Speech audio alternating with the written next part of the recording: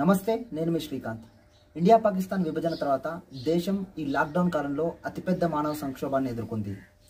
ఎర్రటి ఎండలో చెప్పులు లేకుండా భుజాన సంచులు మోస్తూ చంకన పిల్లల్ని ఎత్తుకుంటూ వందల కిలోమీటర్లు వలస కార్మికులు నడకబాటున తమ సొంత రాష్ట్రాలకు ఈ లాక్డౌన్ కాలంలో ప్రయాణమయ్యారు అయితే ఇలాంటి సంక్షోభాన్ని ఎదుర్కోవడంలో ప్రభుత్వం ఎలాంటి విధానాలు తీసుకుంది? ఈ విధానాల ద్వారా ఈ సంక్షోభం తగ్గిందా పెరిగిందా? ఇవాటి వీడియోలో చూద్దాం. లాక్డౌన్ మొదలైనప్పటి నుంచి లక్షల మంది వలస కార్మికులు రోడ్డు బాటన పట్టి తమ సొంత రాష్ట్రాలకు పయనమవుతున్న ఏనాడు పెద్దగా స్పందించని మోడీ సర్కార్ చివరికి మే ఒకటిన వలస కార్మికులను తమ సొంత రాష్ట్రాలకు చేర్చుతామంటూ ప్రకటించింది. ఇండియన్ రైల్వేస్ యొక్క శ్రామిక్ ఎక్స్ప్రెస్ ట్రైన్ల ద్వారా వలస కార్మికులను తమ సొంత రాష్ట్రాలకు చేర్చుతామంటూ ప్రకటించింది. అయితే ఇందుకయ్యే ఖర్చును ఈ రాష్ట్రాలే వలస కార్మికుల దగ్గర వసూలు చేసి ఇండియన్ రైల్వేస్కి ఇవ్వాలంటూ ఆ ప్రకటనలో పేర్కొంది. ఈ ప్రకటనపై దేశవ్యాప్తంగా సోషల్ మీడియాలో విపరీతమైన చర్చ నడిచింది. అయితే నలభై రోజులుగా ఉపాధి లేక తిండికి ఉండటానికి ఖర్చులకు లేక తమ సొంత రాష్ట్రాలకు నడుచుకుంటూ వెళ్తున్న ఉపాధి కూలీల దగ్గర టికెట్ ఛార్జీలు చెల్లించడానికి డబ్బులు ఎలా ఉంటాయంటూ సోషల్ మీడియాలో సామాన్యులు సైతం కేంద్ర ప్రభుత్వాన్ని తీవ్రంగా విమర్శించారు. అయితే ఈ సందర్భంగా సోషల్ మీడియాలో నెటిజన్లు ప్రతిపక్ష పార్టీలు సంధించిన కొన్ని ప్రశ్నలు కేంద్ర ప్రభుత్వాన్ని ఉక్కిరిబిక్కిరి చేశాయి. ఆ ప్రశ్నలు ఏంటో ఒకసారి చూద్దాం. గల్ఫ్ యూకే లాంటి దేశాల్లో చిక్కుకుపోయిన భారతీయులను స్వదేశానికి తీసుకురావడానికి ఫ్రీగా ఫ్లైట్లు అరేంజ్ చేసి సొంత స్వదేశానికి తీసుకొచ్చిన కేంద్ర సర్కార్ వలస కూలీలను సొంత రాష్ట్రాలకు చేర్చడానికి డబ్బులు ఎందుకు వసూలు చేస్తుందంటూ ఎంతోమంది ప్రశ్నించారు. లాక్డౌన్ కొనసాగుతున్నప్పటికీ అంతర్రాష్ట్ర రవాణా బంద్ ఉన్నప్పటికీ హరిద్వార్లో చిక్కుకుపోయిన తమ రాష్ట్ర యాత్రికులను వెనక్కి తీసుకురావడానికి బీజేపీ పాలిత గుజరాత్ ఫ్రీగా బస్ సర్వీసులను కేటాయించగా వలస కూలీల పట్ల అట్లాంటి ఆలోచన ఎందుకు చేయడం లేదంటూ అనేక మంది ప్రశ్నించారు. దేశవ్యాప్తంగా ఉన్న వలస కూలీలను వాళ్ళ స్వంత రాష్ట్రాలకు పంపించాల్సిన బాధ్యత ఆయా రాష్ట్రాలదే అంటూ కేంద్రం ప్రకటించగా మరి అందరూ భారతీయులే అయినప్పటికీ మరి వాళ్ళ బాధ్యత కేంద్రం ఎందుకు తీసుకోవద్దు అంటూ స్వరాజ్ ఇండియా అధ్యక్షులు యోగేంద్ర యాదవ్ ప్రశ్నించారు. పీఎం కేర్స్కి నూట యాభై కోట్ల డొనేషన్ ఇచ్చిన ఇండియన్ రైల్వేస్ కడుపు కాలుతున్న వలస కూలీల నుండి టికెట్ ఛార్జీలు ఎలా వసూలు చేస్తారంటూ కాంగ్రెస్ ఇతర కమ్యూనిస్ట్ పార్టీలు ప్రశ్నించాయి. కరోనా వల్ల వచ్చే దుష్పరిణామాలను ఎదుర్కోవడానికి ఏర్పాటు చేసిన పీఎం కేర్స్కి వచ్చిన నిధిని బయట పెట్టకపోగా దాన్ని ఇలాంటి వలస కూలీల బాధలను ఎదుర్కోవడానికి ఆ నిధిని ఎందుకు ఖర్చు పెట్టడం లేదంటూ ఎంతో మంది దేశవ్యాప్తంగా ప్రశ్నించారు. అయితే కేంద్రంపై ఇలాంటి ప్రశ్నలు వెల్లువెత్తుతున్న సందర్భంలోనే బీజేపీ స్పోక్స్ పర్సన్ సంబిత్ పాత్ర చేసిన వ్యాఖ్యలు విమర్శల పాలయ్యాయి.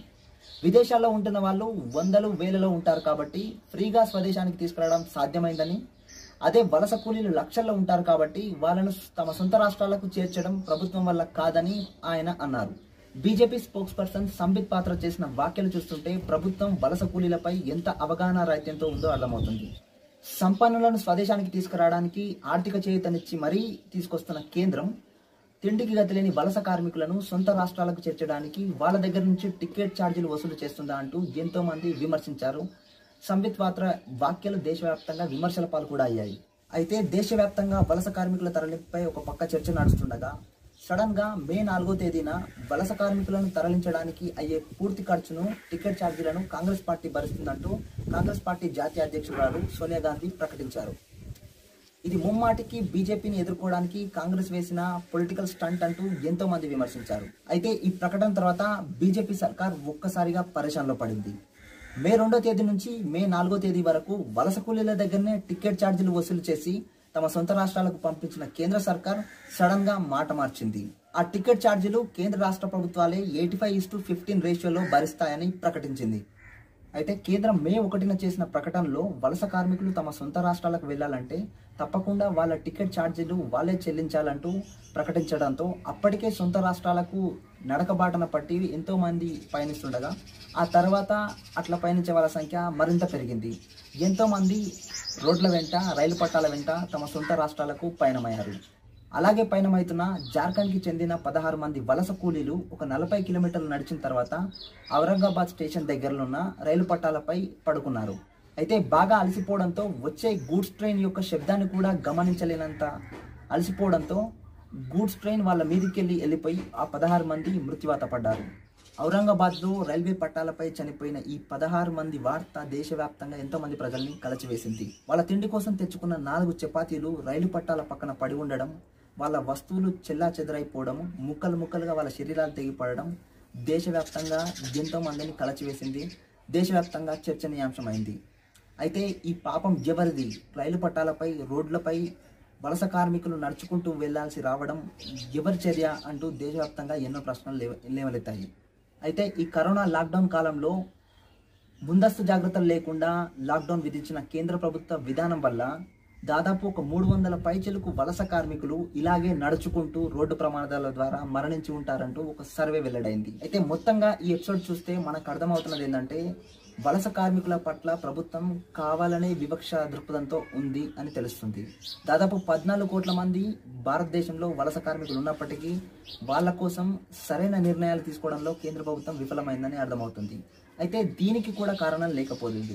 ఎందుకు ప్రభు ప్రభు ఎందుకు ప్రభుత్వం వలస కార్మికులను చిన్న చూపున చూస్తుంది అంటే దేశంలో పద్నాలుగు కోట్ల మంది వలస కార్మికులు ఉన్నప్పటికీ ఏ ప్రభుత్వం ఎన్నిక కావాలి ఏ పార్టీ ఎన్నిక కావాలనే అనే నిర్ణయించే శక్తి వాళ్ళకు లేకపోవడమే ప్రభుత్వ వివక్షతకు కారణం.